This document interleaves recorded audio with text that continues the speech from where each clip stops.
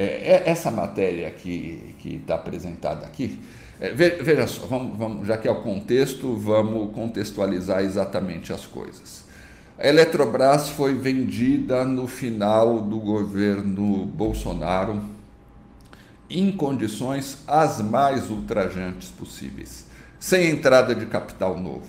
É, se fez uma operação minúscula, se abriu o capital da Eletrobras, alguns alguns grandes fundos compraram uma pequena parte do capital da Eletrobras, talvez 10 ou 15%. O dinheiro que entrou é de 10 a 15% no máximo.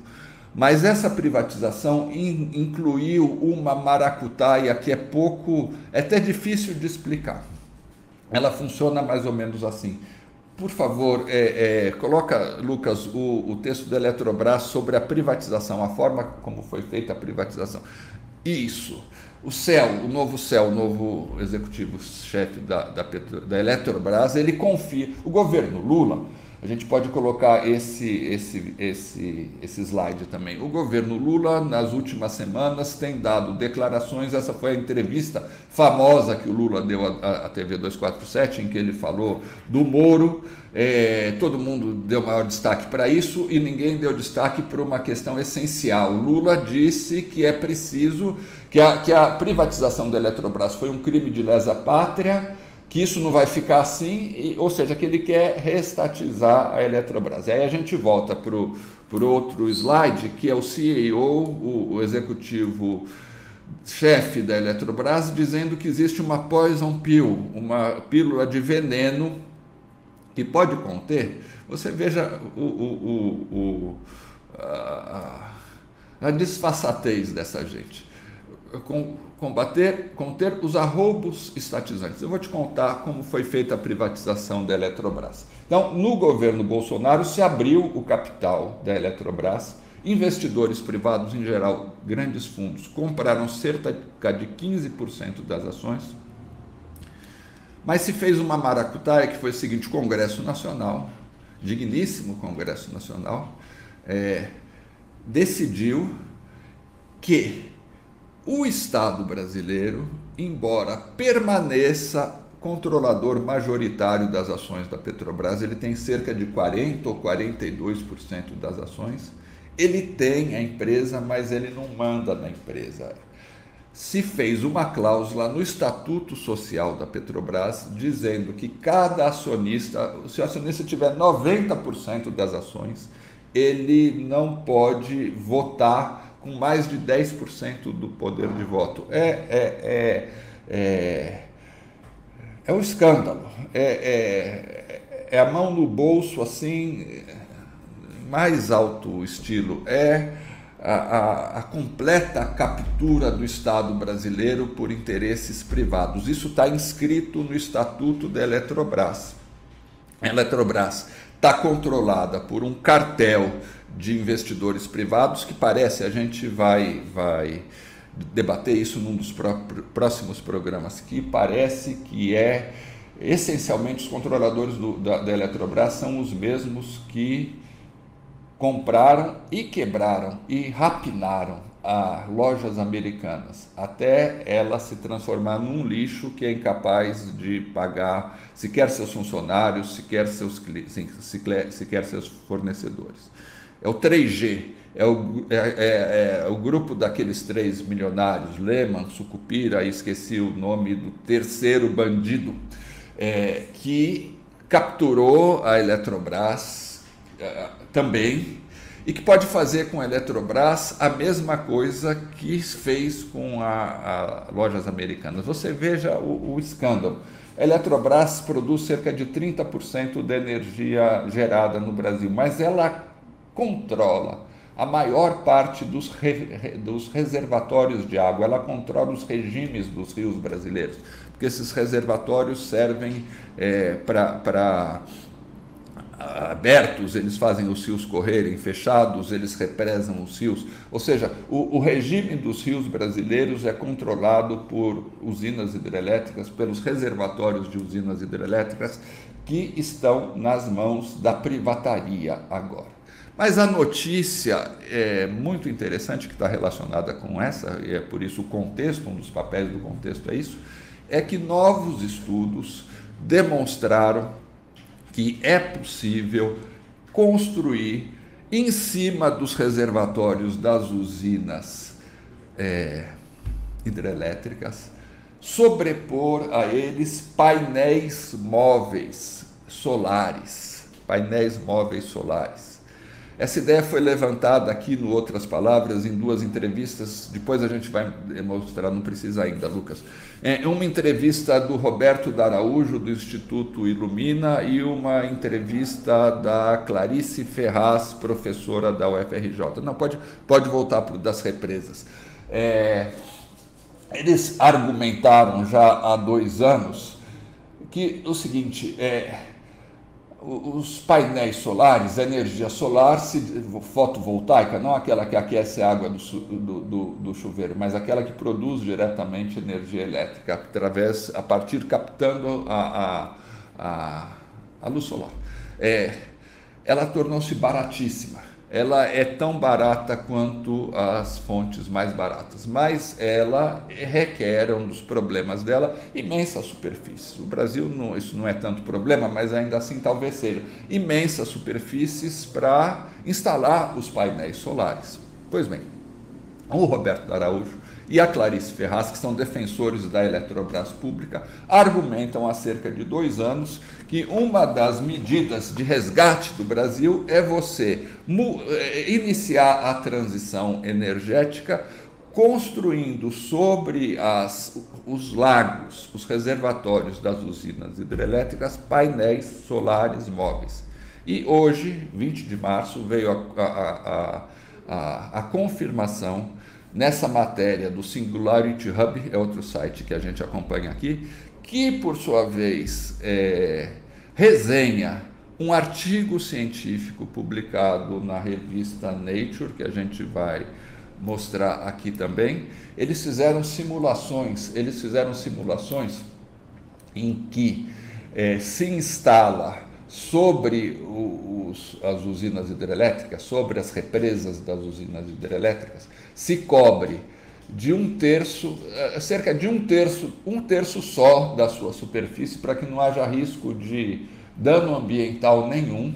Você veja, são superfícies que, que, que foram ocupadas pela água, muitas vezes eram, eram terras, né? tem lá Sobradinho, o território onde vivia o Antônio Conselheiro, Canudos foi totalmente inundado, mas essas, essas terras foram recobertas pela água e não tem, não tem utilidade é, humana e econômica nenhuma, a não ser gerar energia. Então são, são terras desaproveitadas para qualquer outro fim. E esse estudo, secundando já Clarice Ferraz e o Roberto Araújo, mostra que é, nesses casos seria possível, recobrindo só um terço das superfícies dos lagos das hidrelétricas e de outros lagos, seria e outros reservatórios, não é qualquer tipo de lago, seria possível gerar um terço, 33% da energia consumida no mundo, energia completamente limpa, renovável. Roberto Araújo lembrou na, na entrevista que deu a gente que você inclusive utiliza a infraestrutura de transmissão, não precisando construir uma nova estrutura de transmissão porque as hidrelétricas, pela própria natureza, a energia, elas já têm linhas de transmissão para que aquela energia que, que elas produzem, produzem possa circular na, nas economias. Então, é, é, veja só, a grande oportunidade que o Brasil está perdendo.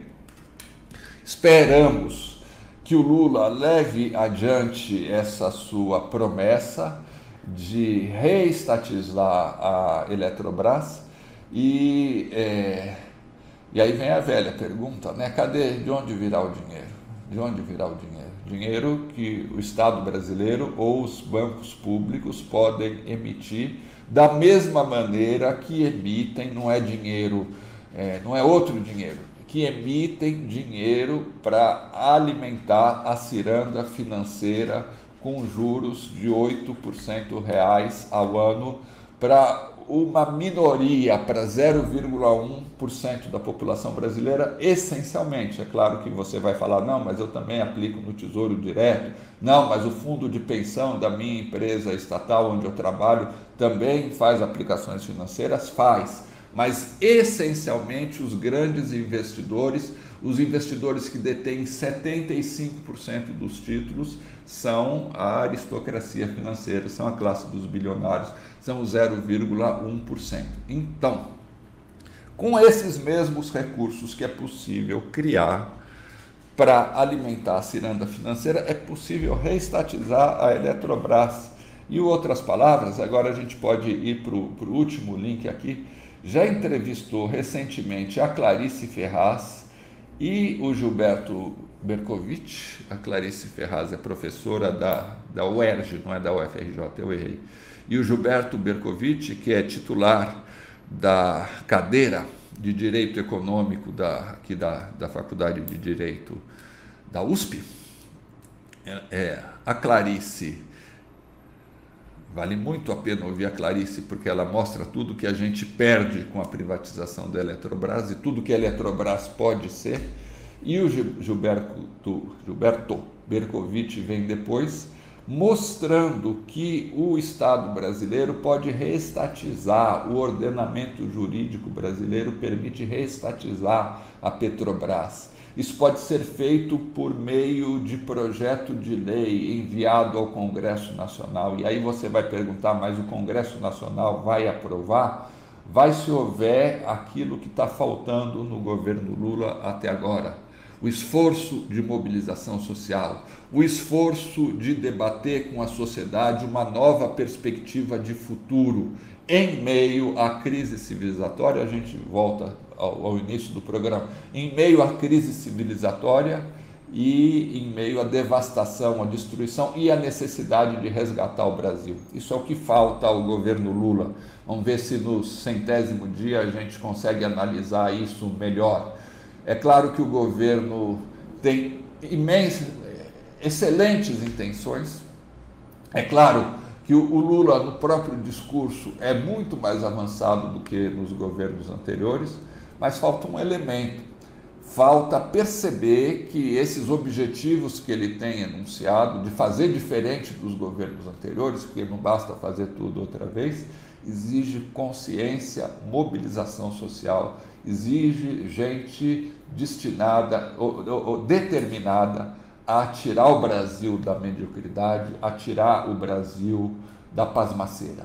Mas é perfeitamente possível, é perfeitamente possível reestatizar a Eletrobras, renovar a infraestrutura elétrica brasileira, que é sofrível, basta ver problemas como os apagões que a gente vive constantemente, aquele do Amapá, por exemplo, que durou mais do que um mês as, a, a, a, os riscos constantes que a gente está de apagão, a piora da matriz energética brasileira, que era essencialmente limpa, mas ela foi contaminada pela entrada em ação de, de termoelétricas, a conta de luz brasileira, que era das mais baratas do mundo enquanto o sistema era estatal, e hoje é a segunda ou terceira mais cara do mundo, isso é um tormento para as famílias, isso é um tormento para a produção nacional também. Ou seja, é possível, é possível reconstruir o Brasil, é possível realizar tarefas como a reestatização da Eletrobras e um grande programa de transição energética que pode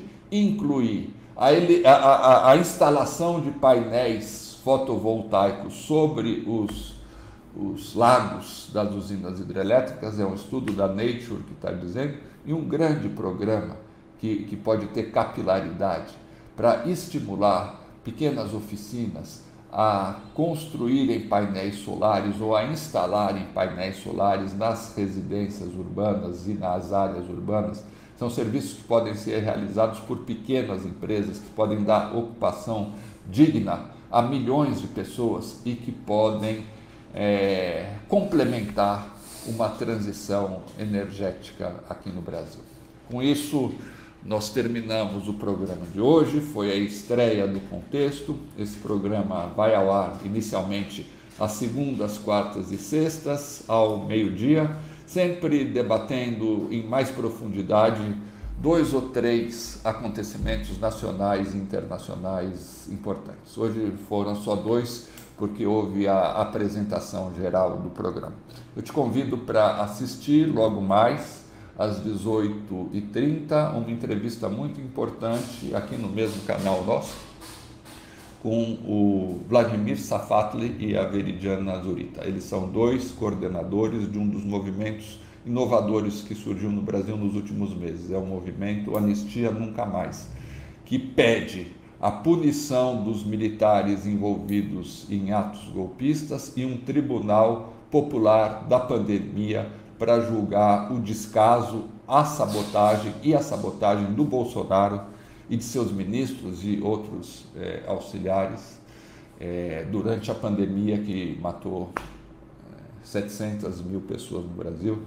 É, o Brasil tem 3% da população mundial e teve 15% das mortes da pandemia. Se a média fosse igual do mundo, em vez de 700 mil pessoas, teriam morrido 140 mil. É muito, mas de cada cinco amigos, cinco pessoas que você conhece, todos nós conhecemos, que morreram de Covid, quatro estariam vivas, quatro não teriam morrido se o Brasil tivesse a mesma média é, de mortes por Covid que é, o, o mundo teve, a média dos países teve. Então, Vladimir Safatli vai falar desse movimento e ele aproveita e nessa entrevista faz uma análise muito alentada da nova conjuntura brasileira, brasileira pós-Lula e de como nós precisamos agir, não adianta criticar o governo, não adianta reclamar do governo.